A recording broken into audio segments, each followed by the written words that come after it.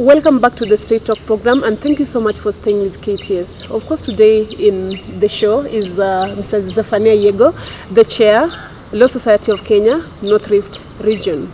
We are discussing the Mutunga exit and uh, the search for the new CJ. And of course, now in this uh, phase, we just want to look at some uh, some challenges, some inconsistencies in the judicial system of Kenya. Where are we uh, in terms of uh, the Judicial uh, Service Commission?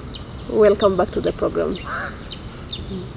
Uh, Mr. Zephania, Right. uh, what's the state of our judicial service? I guess you're talking yeah. about the state of our judiciary. Yeah. Uh, at the moment, we want to say that uh, our judiciary has uh, come of age uh, under the able leadership of uh, the former Chief Justice, uh, Dr. Willy Mutunga. Our judiciary received a massive transformation. We were able to have a judiciary that is in sync uh, with public mood and expectation. Uh, for a moment, we had a CJ who demystified the judiciary. You remember when uh, the, this, uh, Dr. Mutunga came to office, he demystified the office uh, completely. Uh, he, he told, uh, in fact, he, you, you saw that some titles uh, being banned from uh, court where you would refer to judges as my lord and so on. He came and said, "You come on, you don't have to refer them as my lord or your lordships. You can just refer them to as your honor." Even on the dressing, um there was a dress down uh, in the judiciary. Mm -hmm. You would appear before the Supreme Court and you don't have to rob. Mm Uh, you don't have to rob in the High Court and so on and so forth. So there was um, uh, that massive transformation um, to be in sync with, with, with the public. Would uh, have judiciary open days uh, where you have members of the public and the judges interact uh, so that justice is indeed uh, administered to all uh, under the, the purposes and principles in Article 159 where justice is administered to all irrespective of their status. And we had uh, another of the principles where justice has to be uh, administered without undue delay.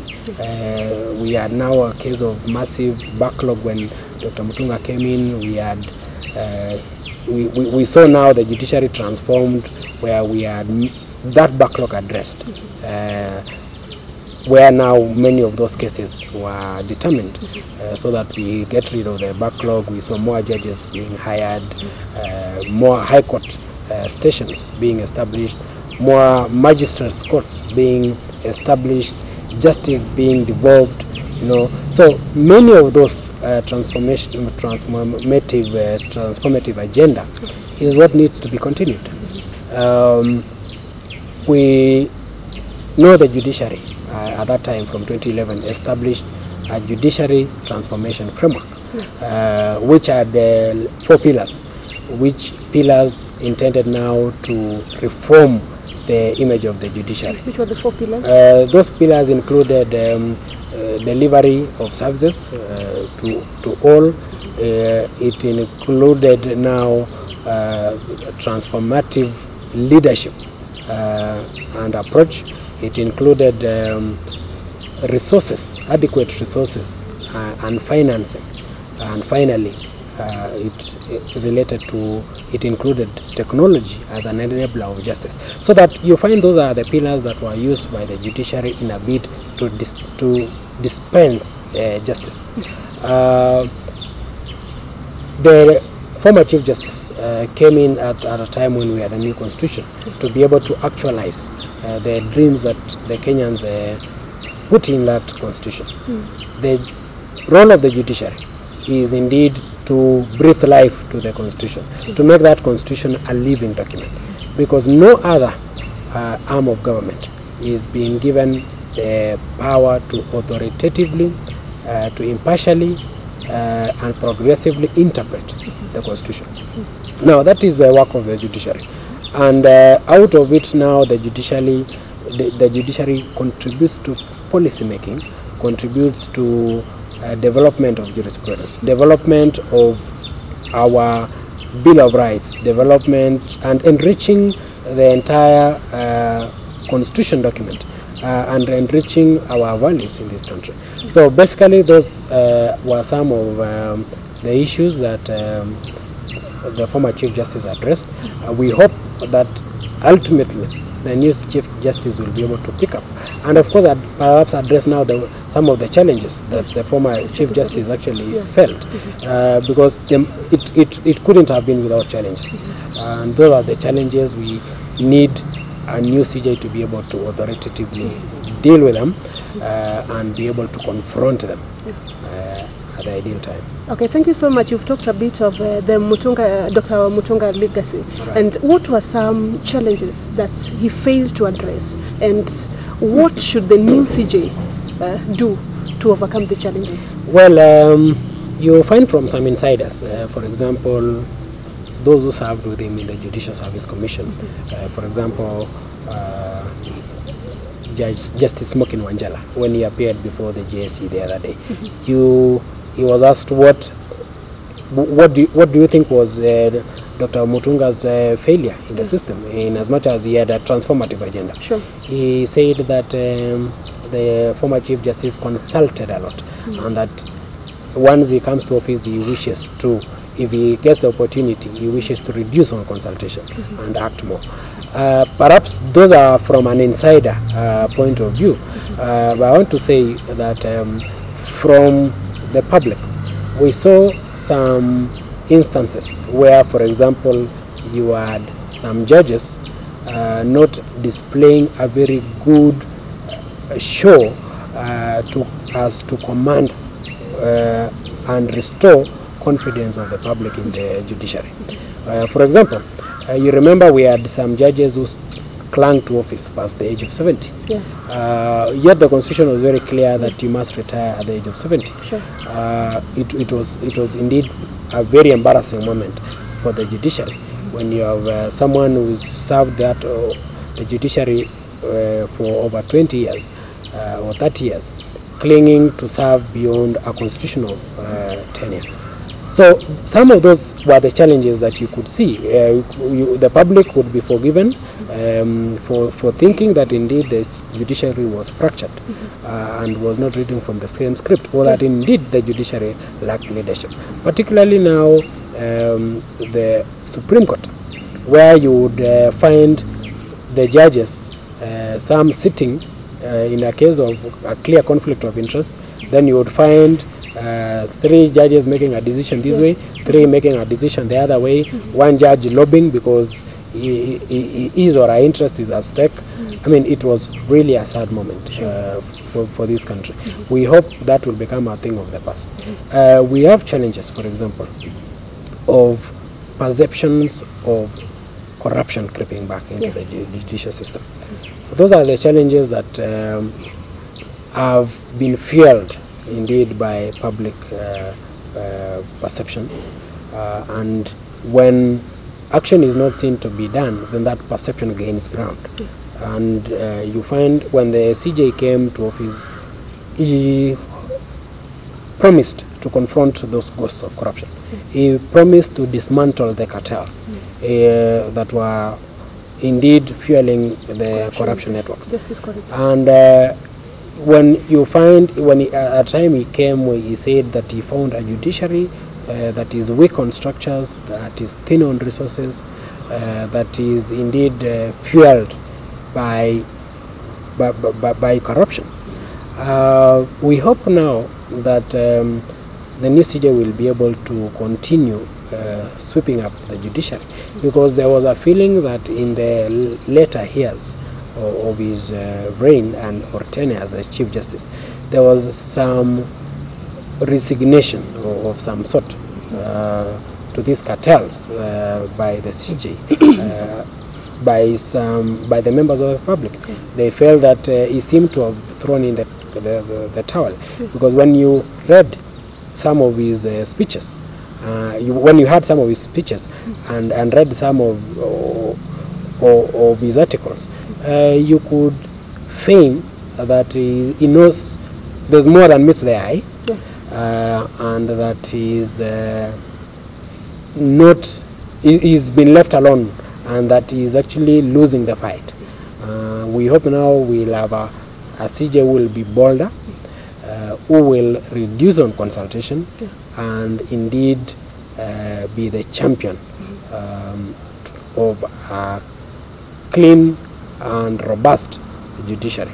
Uh, we devoid of corruption uh, and indeed founded on the cardinal values of access to justice, uh, transparency, uh, accountability, and uh, expeditious uh, disposal of cases, and indeed uh, justice to all, irrespective of their status in society. And again, still on the issue of corruption, we've seen uh, if uh, in the interviews, uh, we've seen many candidates saying that they want to really deal with the issue of corruption. And you've also mentioned it. What strategies do you think the new justice should uh, uh, embrace in order to help him or her uh, fight corruption? Because it seems to be something very strong in the judicial system of Kenya. Well, um, you and I live in this country, and you know how entrenched uh, corruption is uh, in, in every sector. Indeed, uh, many Kenyans have, have been branded either corrupt or corruptible. Uh, you find, therefore, that we have to look at the judiciary, not in isolation, but as part of the wider Kenyan society. And um, to be able, therefore, to confront uh, this cancer of corruption, uh, then we need a very holistic approach. We need a very scientific and methodical approach. We need, for example, to have a new person, uh, the new CJ, uh, do a corruption mapping index, for example, to be able to know where, which areas corruption uh, percolates the judiciary, uh, to be able to seal those loopholes, uh, to be able to make sure that there is preventive, more of preventive corruption, uh, pre- pre- preventive measures against corruption, uh, so that at the end of the day we are able to minimize uh, these instances of corruption, seal the loopholes, dismantle the cartels, uh, live by the high moral ideals uh, of, the judiciary. Otherwise, it's, it's not very, it's not a walk in, it is not a walk in the park. It, it, it calls for boldness, uh, just like any other person, be it the head of, um, be it the president, be it uh, the head of the legislature, you need uh, the moral stamina uh, to be able to confront this this vice. It's not uh, a walk in the park.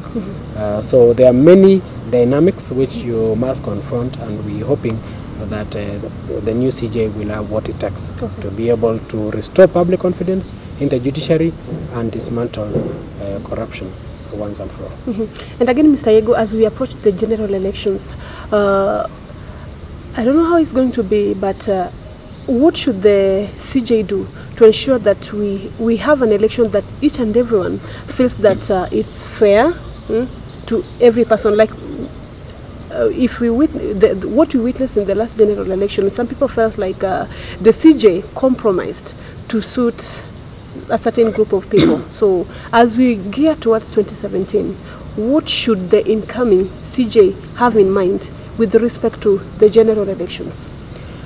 Well, when you look at uh, the constitution, um, the office of, of the CJ is um, the in his role as the president of the Supreme Court. Uh, his role is therefore to preside over election petitions rela- uh, relating to or arising for, relating to the office of, of the president uh, or relating to the presidency. Now, uh, under Article 140, uh, then that is presided over in the Supreme Court. Now, the Supreme Court is guided by their, their ideals of promoting rich jurisprudence uh, under Section 3 of the Supreme Court Act uh, to promote um, rich jurisprudence that respects our culture. Uh, then the question and advances our socio-economic and political growth. Uh, the question is whether now the jurisprudence we developed in the Raila Odinga petition uh, meets the threshold of uh, our, our rich jurisprudence. It's debatable. Others say it may not. It's not very rich jurisprudence that respects our culture, uh, that respects our history, and advances our economic, uh, socio-economic growth, political growth. uh, because largely that petition borrowed from uh, other jurisdictions like uh, Nigeria, for example. Uh, so it's very debatable uh, because you have a judiciary that uh, needs to assert itself in interpreting the constitution uh, authoritatively and of course impartially. Now, we, if, if that then is, is the case, then uh, a new CJ should be able to be independent, uh, to be impartial, and to be able to determine what is the best and rich jurisprudence for, for this country in the case of an election petition. Because that's the only point at which the CJ will come. Uh, the, remember the other part in the, the run-up to the election petition or even to the election mm -hmm. is done by the uh, office of the IBC, uh, which is a, an independent commission. Mm -hmm. Now, the office of uh, the CJ, or as the president of the Supreme Court, will come in when if there is a presidential petition, petition. Mm uh, and we hope therefore that um, we will have a CJ and uh, we a CJ who will provide uh, leadership. Uh, I, of course, you hope that um, it doesn't get to a point where we have a petition again, but if it gets to a point where we have an election petition, we're hoping that we have a CJ who will be able to uh, be bold, uh, provide direction as the president of the Supreme Court, and be able to beat the timelines because, uh, as we know, the constitution now is uh, provides that you must hear the petition and determine it within 14 days, which is very limited time. By the time you file and serve uh, the petition and the other party responds, seven days are gone. Uh, then you had an instance like last year, uh, the, I mean the last election, where, for example, the CORD uh, Coalition was not able to present some of its evidence because of limited time. Uh, now you find that instance again is largely uh, the, strict timelines in the constitution article 87 and article 140 is again what is uh, to blame uh, because when you're operating on a strict timelines Timelines. then some you, you do not have the luxury of granting all the parties uh, so much time because you need to write uh, uh, judgment, you need to listen to the parties and so on and so forth. But then we hope that even if that is the case, there was a concern that if that is the case, then the, of course the Supreme Court ought to have delivered a judgment at that time uh, rather than um, uh, complete with reasons rather than just give uh, the judgment and reserve re- reasons for delivery later. Uh, we're hoping that this time around there will be um, uh, a well-reasoned judgment, Sure. say a 100-page judgment uh, or so, uh, w- at the end of the 14 days, so that uh, there's no room for speculation. Sure. Uh, you come with a reason, you don't give a judgment, then go looking for reasons later. Uh, then people will say you are on a fishing expedition uh, to fill up uh, your, your, judgment in a particular manner. So if we have uh, good time management within the 14 days and we have an impartial uh, Supreme Court, then we should be able to deliver indeed a well-reasoned judgment in the Supreme Court. Okay, and from what you just mentioned, with the strict timelines, do you think it's- therefore recommended that we amend certain acts of the Constitution? Well, um, you, found, you you saw what uh, what has been proposed by IEBC uh, and the judges. Uh, the judges had proposed at that time be increased from 14 to 30 days. 30 days. Uh, that is what the judges proposed in their colloquium, and in fact presented their views um, to, to to the Sabasaba uh, committee uh, that was investigating uh, the IEBC, uh, led by Kiraitu, uh, Honorable Kiraitu and Honorable Orengo.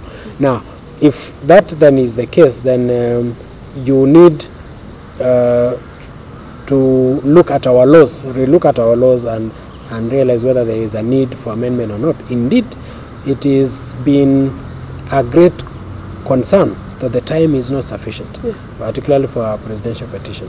And uh, many people have voiced that concern.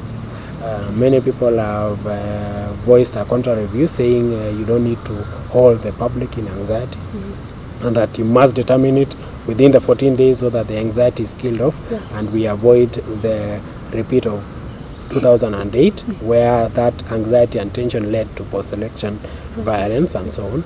So it's, it's debatable, but uh, on, uh, the balance of convenience, it is better if that time is elongated, say to 30 days. Uh, unfortunately, it can't happen because it's, it's a constitutional provision. So for you to do it, uh, you have to again amend the constitution.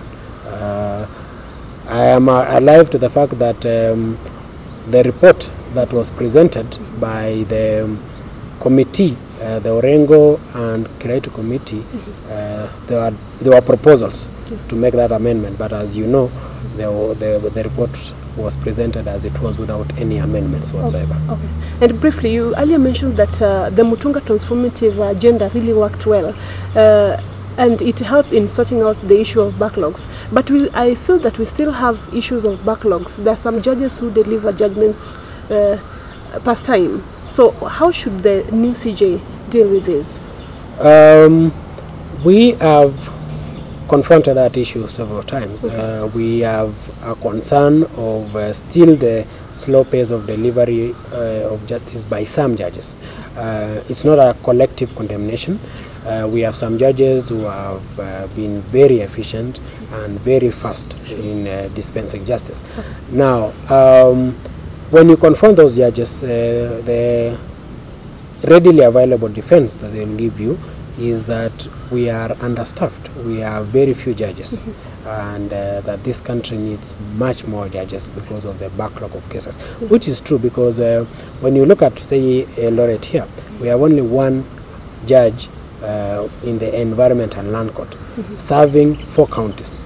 Uh, and the total number of cases that that one judge is handling is in excess of 4,000 cases. So how do you expect that person to be able to listen to a case today and deliver a judgment tomorrow when he has a backlog of around uh, 20 matters to hear in a day? Uh, so you, you, you find that as a contributor unless we get to a level where we, one, uh, increase the number of judges. Uh, number two, we are able to create, transfer some of the cases uh, to the subordinate courts, like some of these land cases, uh, through legislation, uh, which again is, is a matter pending in court, and in, in effect recruit additional magistrates. Uh, or uh, if all that fails now, we then need to uh, supplement that by promoting alternative dispute resolution uh, so that some of these cases are weeded uh, out of the court uh, process. We don't have, they don't have to be determined uh, through litigation. They can be determined through arbitration, through mediation, through conciliation, through negotiation. So it's, it's possible. There are many subsets uh, and many factors that lead up to that backlog uh, of cases. And uh, I think we need a CJ who will be able to give it a go and give it a very holistic approach. Okay. Your final comments as we wind up? Well, uh, I want to say that um, as Kenyans, we still look up to the judiciary, and uh, we hope uh, justice shall continue to flow like a river. Uh, we hope that we get a new chief justice who will be able to meet our expectations as, as Kenyans and be able to authoritatively uh, interpret the Constitution and to assert the supremacy of the Constitution as well as the sovereignty of the people of Kenya. Okay. Thank you. Thank you so much, Zephania Yego, the chair, Law Society of Kenya, North Rift Region, and an advocate in Eldoret Town. I've been your host, Regina Orlando, and thank you so much for keeping it KTS. Until next Monday, God bless you. Thank you.